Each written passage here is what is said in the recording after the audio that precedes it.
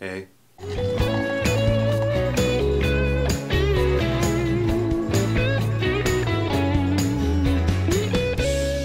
Holy, that eye trick there was actually a lot harder to do than it should have been.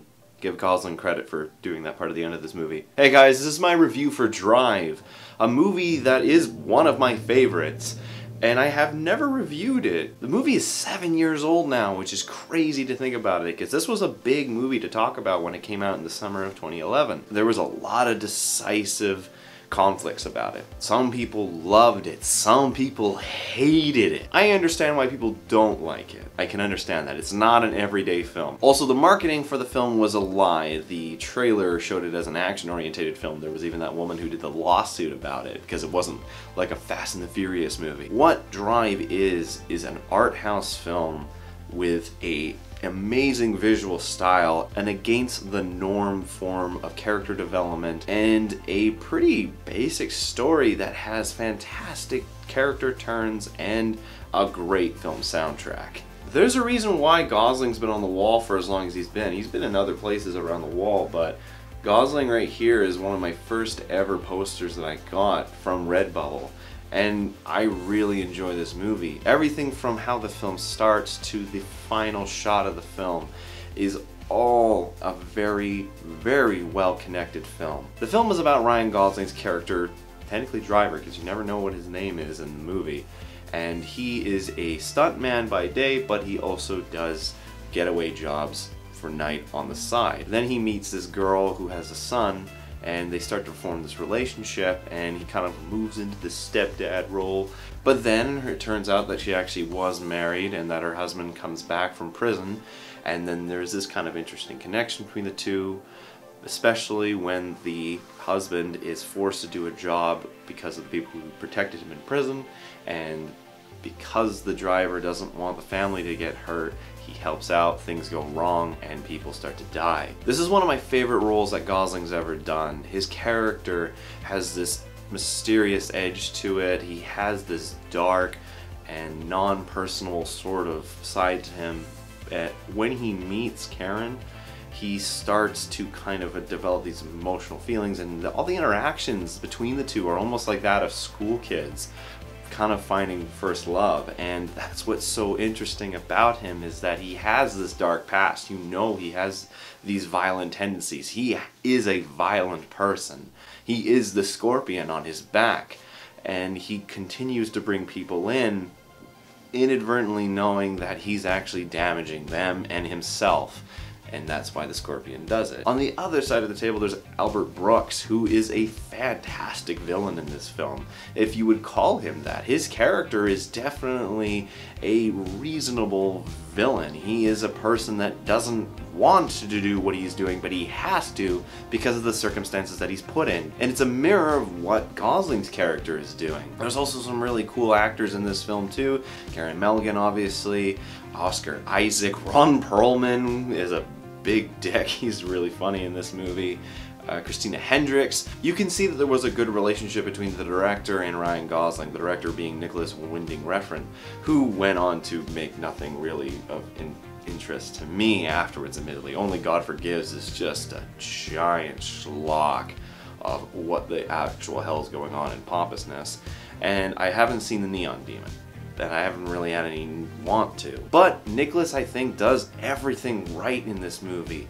The beginning of the film, taking place all inside the car, creates a realm of reality, and it pulls you into the film to make you feel like you're literally in the car during this chase sequence. It's a very simple sequence because all of it is shot inside the car. And it's such a refreshing turn from all the over exposure and ridiculousness that's in the Fast and the Furious movies to see a really grounded car chase and the beginning of the film and kind of near the middle, it's a satisfying thing. Admittedly, there is some editing mishaps, particularly in that driving sequence in, in the kind of in the middle of the film. There's two really bad, really bad goofs Um, one time a car passes by and it totally changes when it cuts to behind the car, and uh, the car accident's not really well edited either.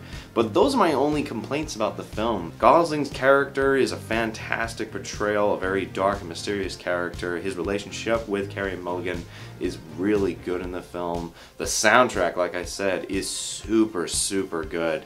I was listening to the soundtrack for this film for months on end afterwards, and even though my girlfriend does not like this this movie at all, she does like A Real Hero by College. And it's a great song and it plays into the story so well. Right at the very end, when he's sitting there in that car and he doesn't blink for what feels like a minute. And the whole time you're wondering, is he alive? Is he dead? And it's just a great way to end the movie. It kind of gives you this thought of what actually does happen to him. I understand why people don't like this movie because admittedly it's not for everyone. The lack of dialogue is somewhat jarring to some. I have had friends watch it who don't like it, but the friends who do kind of see the point that it's not a vocal film. It's showing without telling. It's a visual storytelling. And you see that on their interactions on in their faces. And that's why I feel the movie's so good. It's a refreshing change from what we're so used to. And admittedly they haven't really made anything like this in this sense. Like they've done it a lot with horror movies uh, oddly enough in the, the recent while which is cool. But I would like to see another movie like Drive because I really enjoyed this film. And I also have like a pretty sweet uh, steel box of it. Both my brother and I have this. We both love this movie. So I literally love this box art. What's funny enough is this was refreshing because the two cases, the two Blu-ray DVDs that came out, both American and Canadian, were terrible. Like the worst Photoshop jobs you could ever imagine. Like just bad. But in the end, what is my rating for Drive? It's a 7 out of 7 for me. It's one of my favorite movies. I think that this movie did set a place mark for itself in terms of its film style and just the way that the film interacts with the characters and with the events that happen. And what's funny enough is at the time the director didn't have a driver's license. So it's kind of interesting that I'm, he makes a movie about a driver when he can't drive himself.